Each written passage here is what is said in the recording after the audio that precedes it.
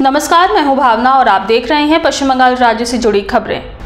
अठारहवें लोकसभा चुनाव के पहले चरण के तहत पश्चिम बंगाल में तीन लोकसभा केंद्र में वोट डाले गए हैं और उनचालीस लोकसभा केंद्र में वोट डाला जाना अभी बाकी है। इसी बीच कोलकाता हाई कोर्ट के डिवीज़न बेंच ने एसएससी घोटाले को लेकर ऐतिहासिक फैसला सुनाया।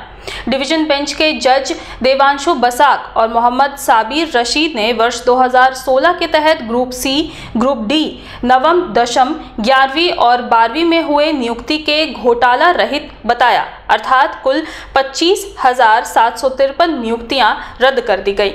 साथ ही 12 प्रतिशत ब्याज के साथ छह सप्ताह के अंदर वेतन भी लौटाने का निर्देश दिया है। हालाँकि पश्चिम बंगाल की मुख्यमंत्री ममता बनर्जी ने इस निर्णय के विरुद्ध सुप्रीम कोर्ट जाने की चेतावनी दी और कहा है कि न्यायालय भी बीजेपी का होकर काम कर रही है। वहीं पूर्व जज एवं बीजेपी के प्रत्याशी अभिजीत गांगुली ने इस मामले में सीएम के इस्तीफे की मांग की है।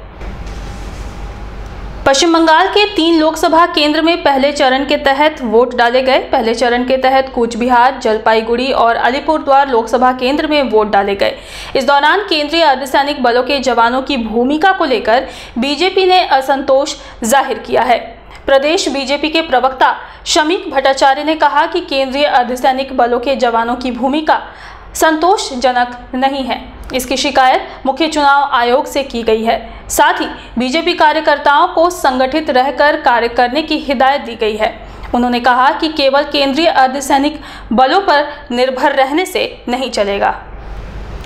पश्चिम बंगाल पुलिस विभाग की विशेष टीम एसटीएफ यानी स्पेशल टास्क फोर्स का दावा है कि तृणमूल कांग्रेस के राष्ट्रीय महासचिव एवं डायमंड हार्बर के निर्वर्तमान सांसद अभिषेक बैनर्जी आतंकवादी के निशाने पर हैं। मुंबई के रहने वाले राजा राम रेगे, जिसका संबंध मुंबई 26/11 अटैक के साथ था, वही राजा राम रेगे पर अभिषेक बैनर्जी पर रेकी करने का दावा एसटीएफ कर रही है।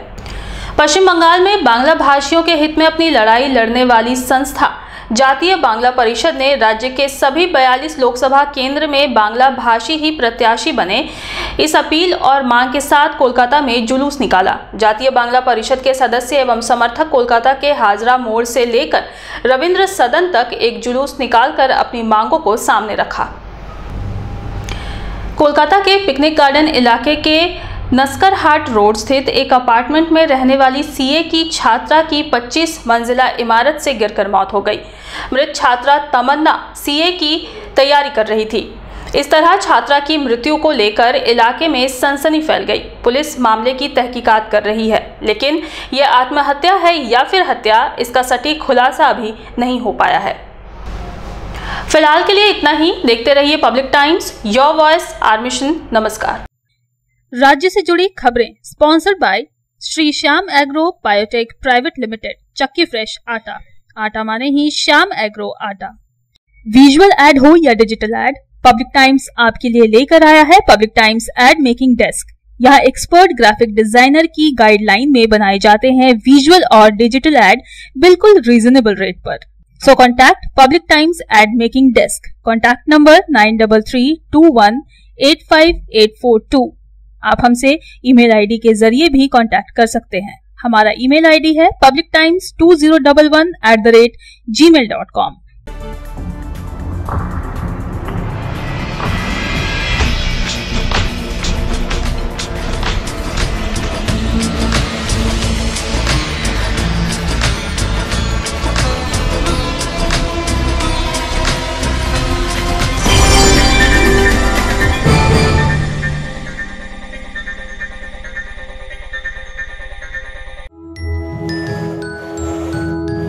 Shilpanchal की हर छोटी बड़ी खबर कभी भी कहीं भी देखने के लिए हमारे पब्लिक टाइम्स न्यूज़ चैनल को यूट्यूब पर करें सब्सक्राइब